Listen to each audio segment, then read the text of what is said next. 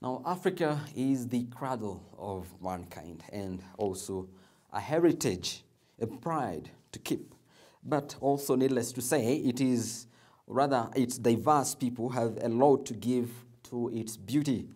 We look at some of the first ladies of Africa, their lifestyle, education, and family life. In our premiere episode, Her Excellency Nelly Milya compares the first ladies of Nigeria, Cameroon, and Kenya. We begin in West Africa, Nigeria. Dr. Patience Jonathan is Nigeria's first lady. She has a psychology and biology degree from the University of Port Harcourt. Dr. Dame Patience is known as a flamboyant and an exemplary dresser.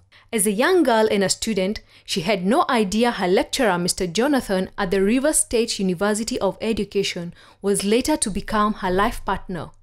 The two have two children. Her Excellency Patience is known to run several charitable organizations that focus on supporting the youth, women, and children. They say every good deed has a flip side to it. In January 2013, she was engaged in a tussle with the former First Lady Turai Yar'Adua over a plot of land in the Federal Capital Territory. They dragged themselves to the courts and treated the nation to an exciting drama.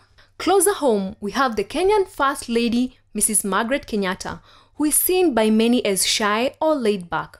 In fact, you would argue she would probably prefer not to be in the limelight at all.